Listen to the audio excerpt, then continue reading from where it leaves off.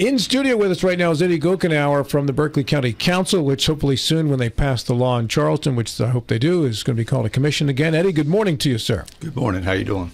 Great, thank you. Good. Appreciate you being here. Sure. Like the jacket, you're looking good, man. Thank you. Doing well. Yeah, looking the position. That's right. You're the man. I, you know, I can take it off real quick and crawl underneath the car and fix something. You know? yeah, I know you can too. That's yeah. the thing. Hey, uh, we are talking about East Palestine and that derailment with Senator Capito in the last segment.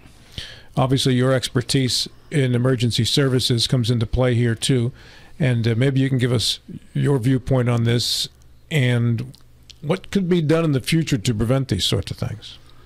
You know, there's there's always been accidents on the rail. You know, I, I think that the rail industry uh, years ago they do separate, you know, their their extreme materials from each other.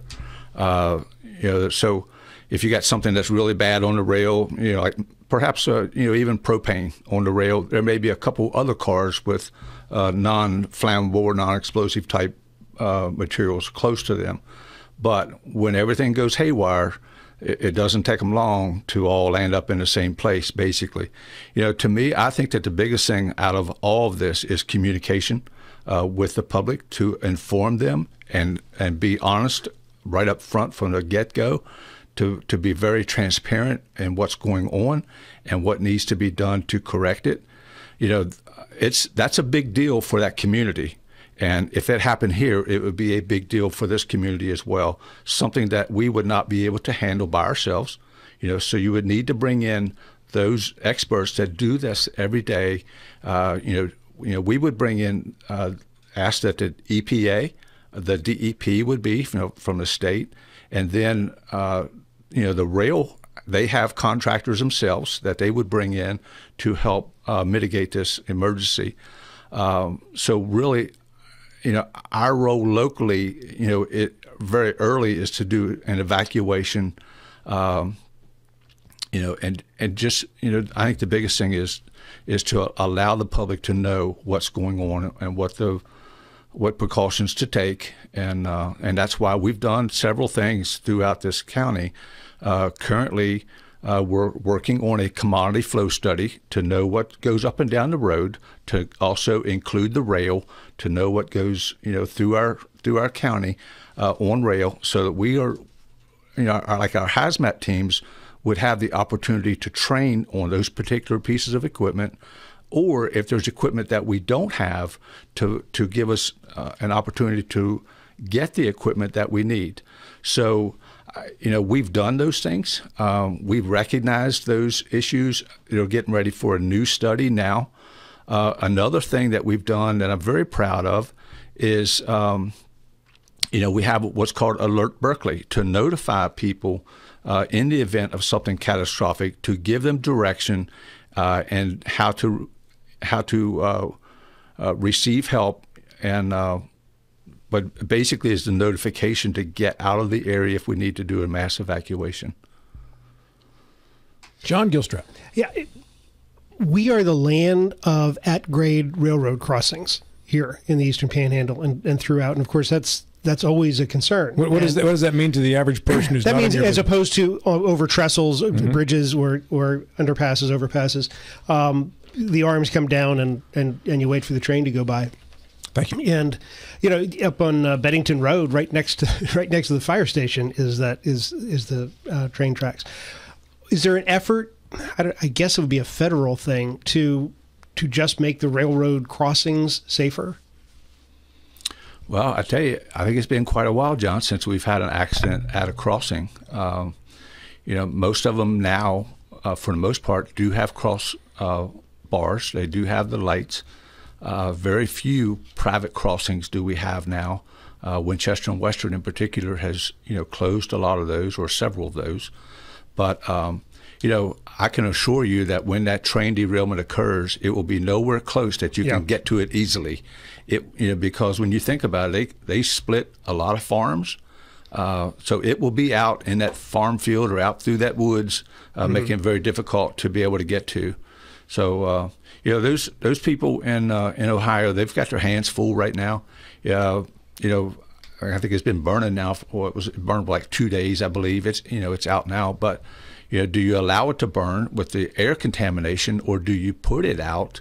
And now it's the threat of having uh, groundwater contamination. So, you know, that's where you really need to uh, depend upon those true experts uh, to give you guidance.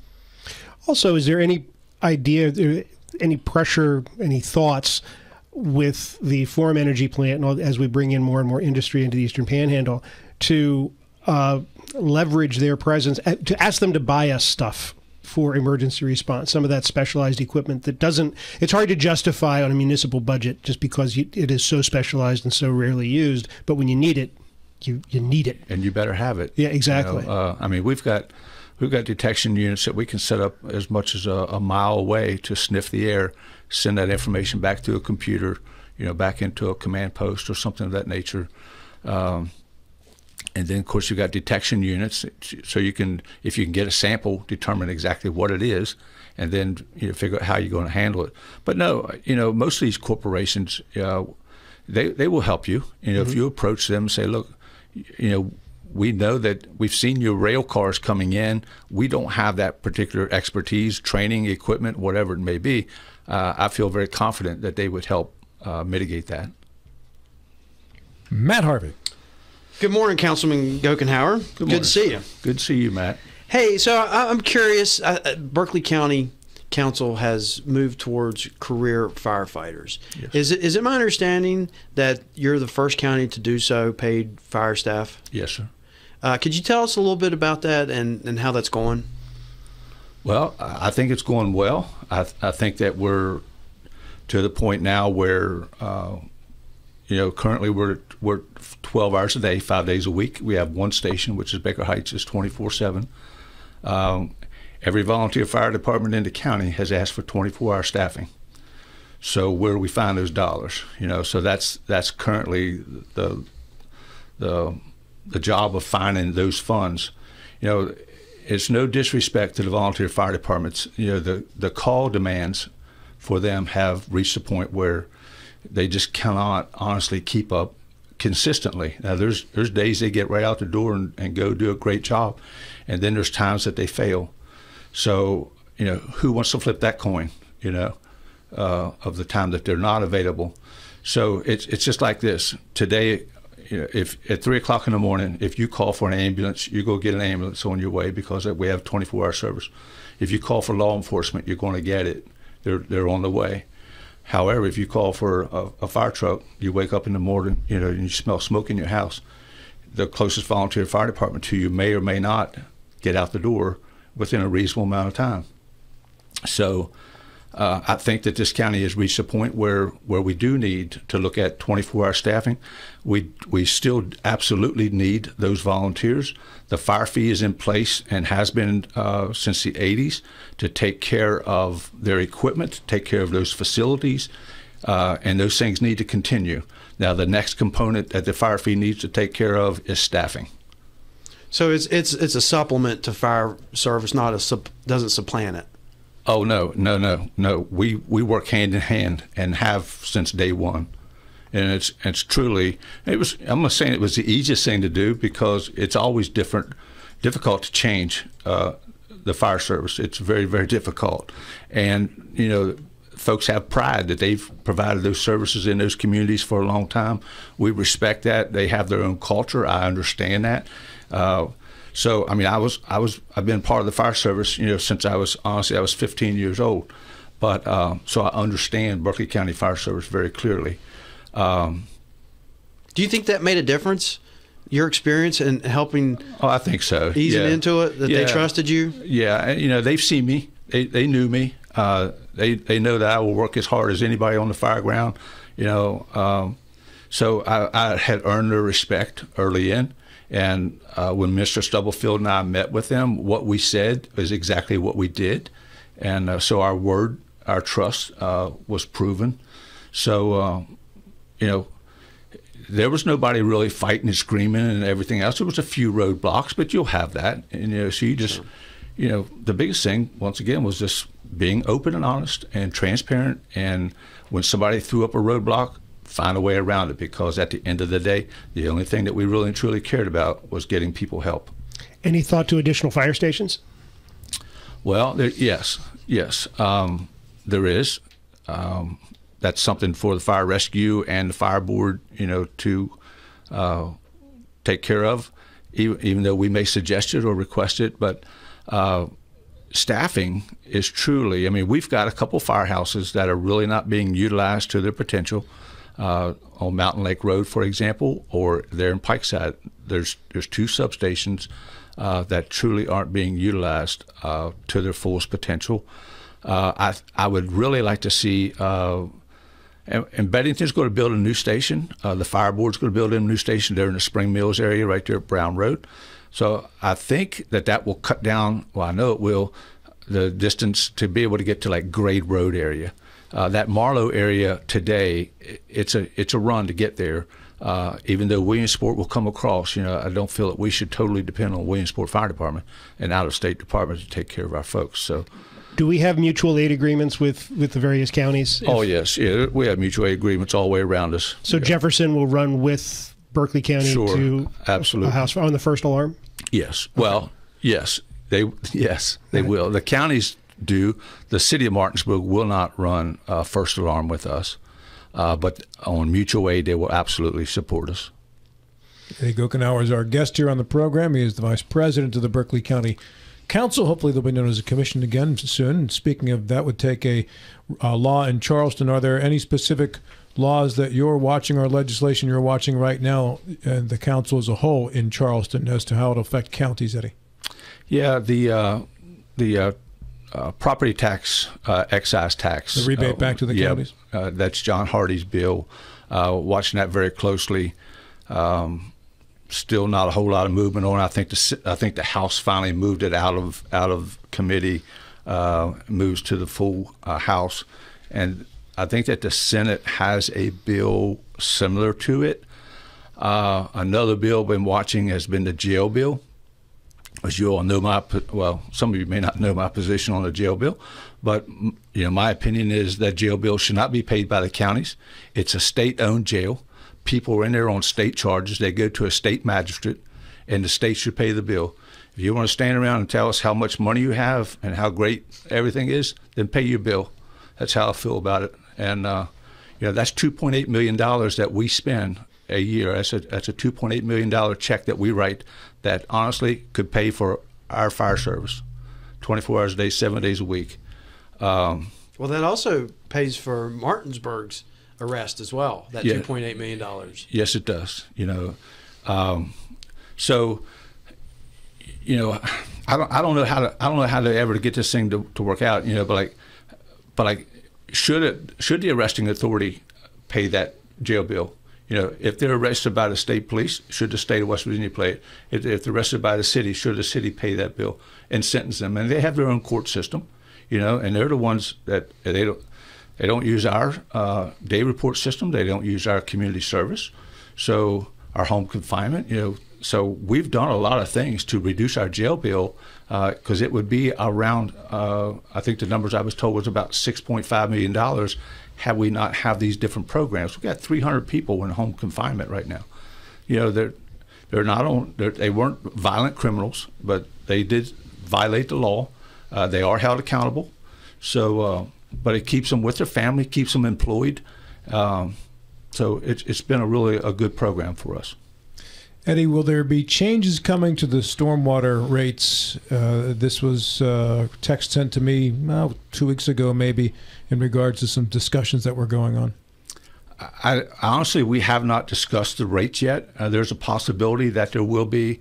Uh, you know, we we did uh, last week agree to be a co-permittee on the stormwater permit with the stormwater district. Uh, you know, we have we have staff that reviews, uh, like our engineer, reviews the, uh, stormwater designs and approves those. Uh, so we felt as if if we're going to control some things, that we should be a part of, of the responsibility as well. So we, will go as a co-permittee. Uh, it was our request to only impose this permit and ordinance on the urbanized area. So everything really west of the of the mountain will be out of the urbanized area. So so I do see in the future that there will be, you know, because today, you know, like I've heard, you know, many times before, and I don't disagree, uh, P&G pays the same thing as I pay. Right. You know, but in in in saying that, they've also spent millions of dollars, you know, for their stormwater management system. So uh, I think there needs to be credits back paid back, but still, at the end of the day, uh, I I, th- I feel as if industry that has a large footprint should be paying their fair way. That was one of the big complaints about that system when it was set up. Many folks felt it was unfairly applied to them Sure. based on the criteria. And if you're looking into fixing that issue, then you, you're going to make a lot of people happy. Well, I, I'd really like to make them happy if the legislature would work with us and uh, impose the one cent sales tax, because I feel with the one cent sales tax, uh, because it would then have a funding mechanism, and that's one of the requirements. You know, we could we could fully fund our sheriff's office, we could fully fund our fire service, and we could absorb the rain tax. Do away with the rain tax; it's it's in the one cent tax. That would be my goal, to because it's everybody hates it, including myself. I don't like it either. The rain tax. The rain tax. I don't, I don't think they'd like another cent on their sales tax either, though. Yeah, it's a penny on a dollar, a penny on a dollar. So the, the great thing here is with the interstate going through, we have a lot of people stopping uh, at the convenience stores and whatnot. Uh, yeah, penny on a dollar. So Hey, let's talk about parks. Bob Williams was in a month ago and showed us the master plan for going forward with Parks and Rec in Berkeley County. Uh, your thoughts on the master plan and in uh, specifics, uh, are there any parts of the county you'd like to see some improvements made? Well, I mean, the master plan covered a, a pretty broad area. Um, you know, it, had a lot of focus on Poorhouse. Uh, you know, Poorhouse is a beautiful park. Um, personally, I, I'm not 100% sold on the uh, soccer field uh, layout of that because we have a nice soccer field already uh, that's been developed and everybody in the county knows where it is. Uh, I, I would like to see us to take those particular dollars and reinvest at the DuPont fields and make it a much bigger complex where you could have a lot of tournaments and that kind of stuff. Um, you know, I'm I'm glad that that we have a plan. Uh, it covered a lot of areas. Like I say, um, kind of kind of on the side, you know, was uh, the river uh, the river park. Um, but yeah, I know just at the city, you know, they were looking at uh, including uh, Lake Thomas, you know, include into the walking park. So that would be a nice addition to it as well. Getting access to the Opequon would be huge. It would, you know, and you know we're we're we're making strides on uh, on the park in Inwood. You know, we just that house was just removed. The- entrance uh, will be uh, that will be the entrance where we just had purchased a piece of property uh, to get into that 22 acre park. There's a lot of excitement uh, in Inwood and the surrounding area about the park, um, and of course the north the north park at uh, Spring Mills. Uh, things are in motion there. So there's there's a lot of stuff going on to improve the quality of life. You know, I just I spoke with Steve uh, last week, who has spoke with Bob uh, to try and do some stuff at Rudy Park uh, and Tomahawk uh, to improve those facilities as well. So there's some excitement out there about you know improving stuff for kids to get involved in and and and good quality family uh, entertainment. John. We talked a lot about, excuse me, fire and rescue. On the law enforcement side, how many deputies are there on duty on an average night in Berkeley County? Well, you know, uh, John, I'm not sure of their scheduling. Uh, we have 66 uniformed deputies, so uh, I would hope that, that 12 to 14. Uh, but I know with vacations or sick leave or you know may in fact dwindle. But uh, and they've just they've just uh, they just went to a 12-hour shift uh, to try and get some overlay on some of their busier times and stuff. So they're looking at doing different things as well. And is the law enforcement side fully staffed? It's currently not. Uh, they're currently down five officers. So yeah, they've they've uh, they've got a need there for five uh, police officers. Matt Harvey. when I was driving in here uh, on 45, I noticed that there's a sign that, that's advertising for Hagerstown police officers starting at $81,000. Have you seen this sign? I have. And with a potential bonus of $20,000. Um, is is that pretty much what Berkeley County's f- dealing with with when it's allocating money for salaries to the different agencies and, and elected offices?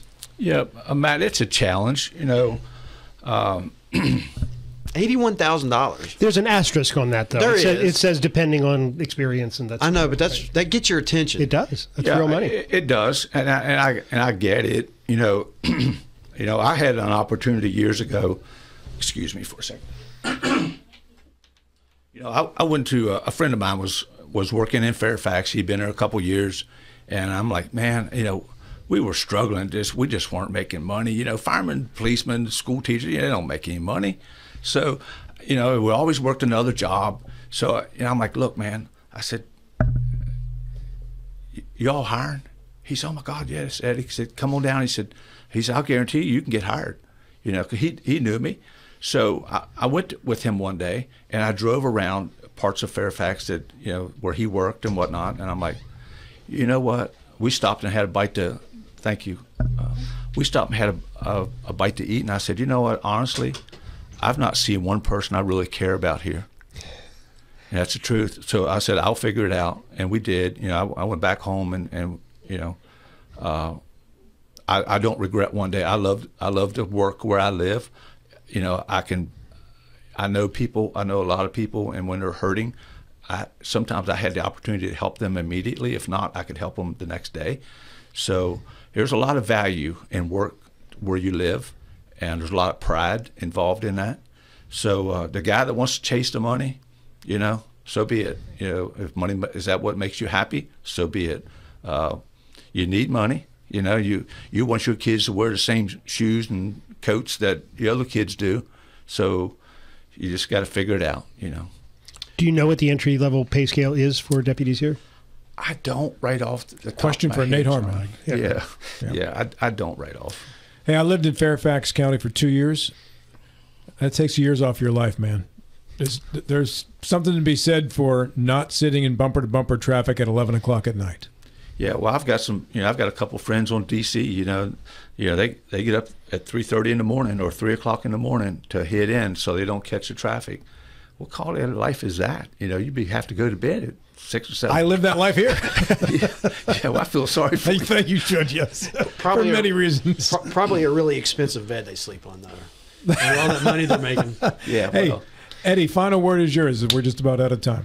You know, I, I just number one, thanks for the opportunity to come in again. You know, I, I would tell you that, that the county is working very hard. We're working hard to serve the public that we've been elected to do, and uh, you know, I'm, I'm just humbled and privileged to be a part of this. So, thank you. Thanks for coming in.